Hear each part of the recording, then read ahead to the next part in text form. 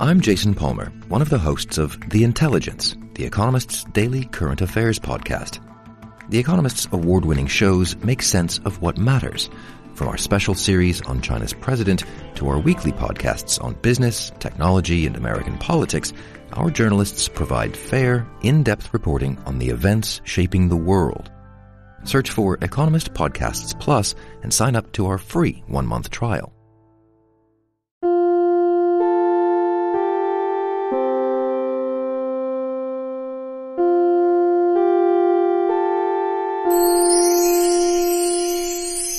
おつかり面カラフルハイスクール本音で語ろう」高校生の今の声を聞き一緒に話していくコーナーです一緒に話していくのはこの方あんちゃんです。よろしくお願いします。よろしくお願いしますさあ今日もアメリカの学生の皆さんとお話ししていきますが、ね今日はタイさんはい。タイさんよろしくお願いしますよろしくお願いします。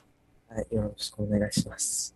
まずは自己紹介からお願いしますはい、あ僕の名前はタイです。あアメリカの9年生です。はい9年生って日本で言うと中学校3年生ですね。はい。はい。うん好きなものとかありますか？まあ、猫とか好き、あえー猫好きです。猫は飼ってるんですか、はい、一匹飼っています。えー、どんな猫ちゃんですか？白い。お名前、お名前は何ですか？猫ちゃんの。名前はネネです。ねね。ねねちゃん。かわいいね。ねえかわい。い、いいですね。さあそれでは続き聞いていきましょう。まずはこれだけは言わせて私の叫び。教えてください。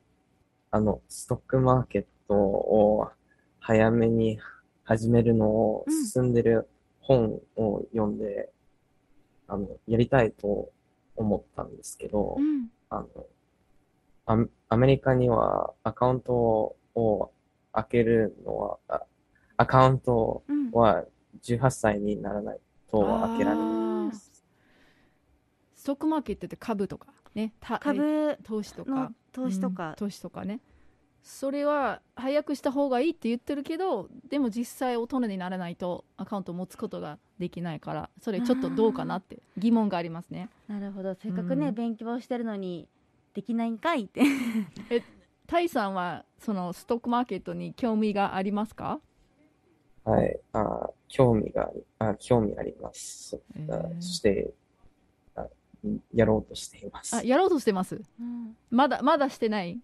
まあ、あお父さんがアカウントを開けて、僕がそのアカウントを使ってやろうとしています。あよかったね。だけどうんなんかかっこいいね高校生ってさ、高校1年生であれはもうその投資してることってかっこいいよね。なんかこう不安とかはないですか？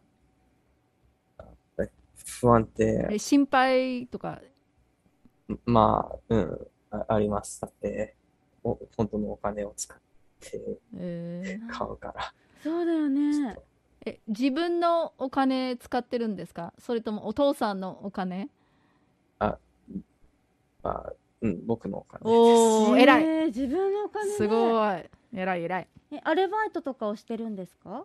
パータイムジョブあ、まだしてないです。あまだしてない。お小遣いかおな小遣いね。Your なんかアラウンスとかお小遣い使ってる、うん、まあ、そうかな。そうやね。うーんちょっとお話は変わりますが今楽しいことやハマっていることありますか？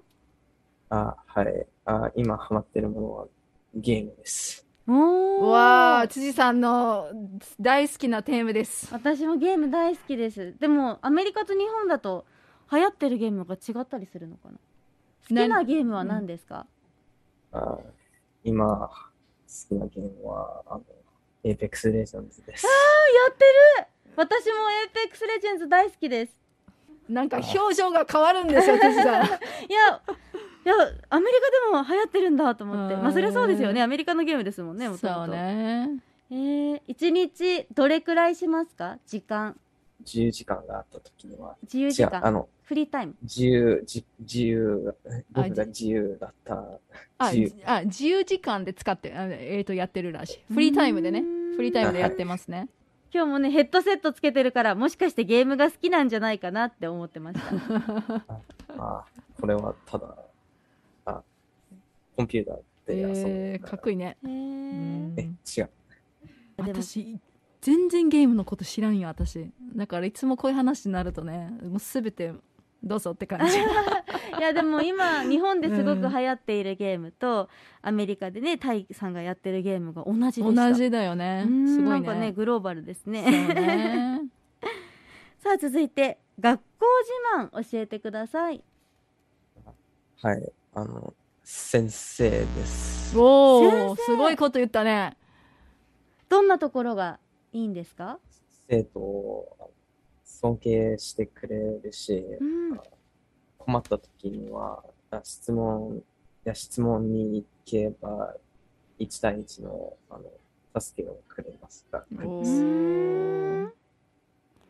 日本語すごく上手ですけど日本語の授業も取ってるんですか？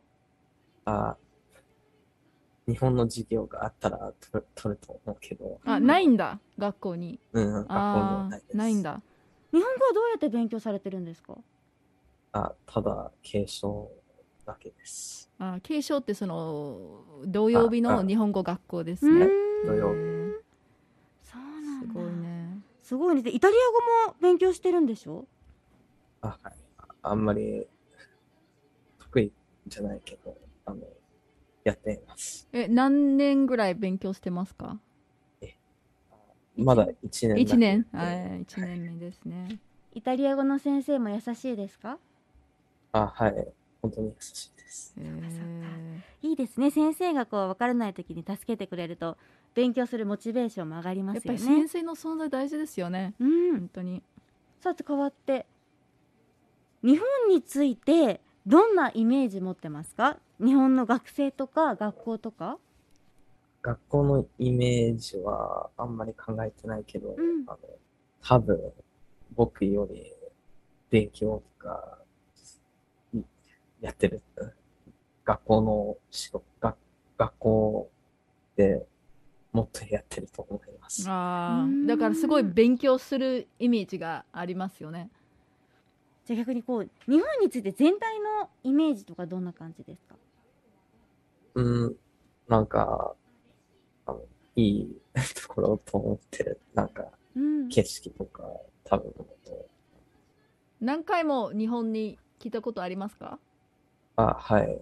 あの、は、はい。なんか好きなところ一番好きなところは何ですか？日本の。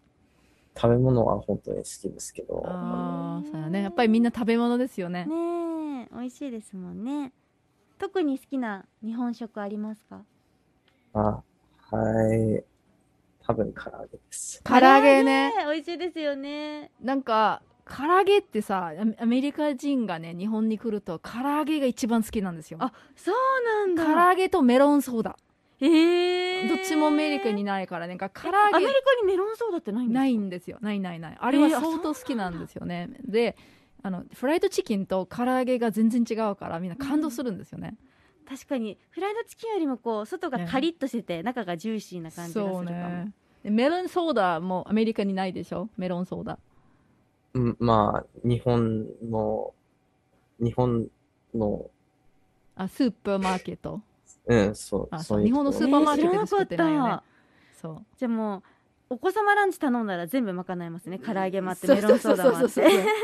私の友達必ずねメロンソーダと唐揚げ感動するんよ。そうなんだ、うん。今度ちょっと私も教えてみよう。そして最後に将来の夢について教えてください、将来の夢もあんまり考えてないけど、うん、高い給料の仕事が欲しいと思います。ストックあのー株とかに投資ねストッ関係で、クマーケットやってるって言ってたもんね。ね なんかできる気がしますね。いや絶対大丈夫と思う。だったら、うん。タイさんありがとうございました。ありがとうございました。またお話ししましょうね。ありがとうございます。ごめんなさい。リンクの貝月ラナと大空莉子です。RKB ラジオでお送りしているガールズパンチ今夜もあなたにリンクリックをポッドキャストでもお楽しみいただけますアップル、スポティファイ、アマゾンミュージック、グーグルポッドキャストなどで、今夜もあなたにリンクリックと検索してフォローお願いします。ポッドキャストもリンクリック